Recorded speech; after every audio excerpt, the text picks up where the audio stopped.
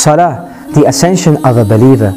Salah, the difference between a Muslim and a non-Muslim. Salah, a gift for the ummah of the Holy Prophet sallallahu alaihi wasallam. Salah, the coolness of the eyes of the Prophet sallallahu alaihi wasallam. And Salah, the first question on the Day of Judgment will be about Salah. So, pray your Salah before you're prayed upon.